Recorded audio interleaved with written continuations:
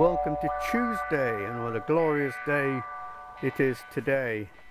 Now we're going to start with the survey question from Monday. Let's see how many people got it correct. Okay. Uh, survey question from Monday. The largest one of these was created in America measuring 50.8 centimeters, approximately 20 inches. And the answer was blowing a bubble gum. That was the answer. They blew the largest bubble from, a, from chewing gum or bubble gum. Now I've got Tuesday's survey question. Today's Tuesday's survey question. A recent survey, six-year-olds does this three times more than an adult. Okay, I'll repeat that. In a recent survey of six-year-olds, they do this three times more than an adult. Okay, that was your survey question for today, Tuesday. Now, I'm going to go with your comments now. And, well, Annie's having a swing. I'm going to go with your comments.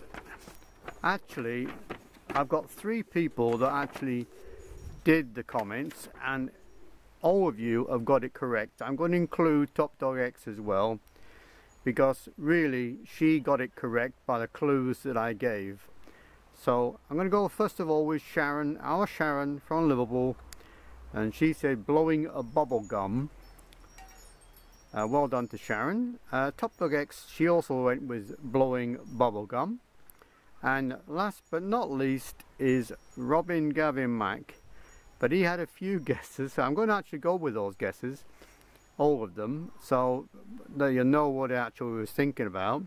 He, first of all, he went with fruit or a vegetable, uh, a ball of rubber or elastic, uh, chewing gum, a musical instrument, and then he went with blowing a bubble gum in, into a big bubble.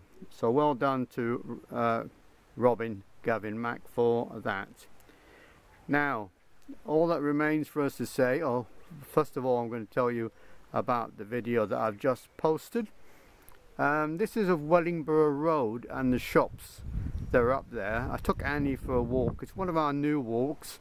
Uh, a lot of people who live in Rushden will be able to spot exactly where that is and some of the shops that they do know. But that's another new walk that I've actually created for myself and Annie. So sometimes you may see us going that way. So if you if you see us, just say hello. Anyway, thanks very much. We're going to say goodbye now, Annie, aren't we? Say goodbye, Annie. Ready? Say goodbye. Mm, bye bye. Mm, bye bye. Good girl. She's such a good girl. Okay. Best. Thank you very much for watching. Please do subscribe to my channel. Keep safe, as I've said before. Um, on Friday, we're all going to wear a little mask to go into a shop. I hope. And uh, I'll see you tomorrow, Wednesday, with the answer for Tuesday's survey question. Do have a go at it. And uh, we can all have a little chuckle at some of the answers. Okay, very, thank you very much for everything. All the best and bye bye for now. Bye -bye.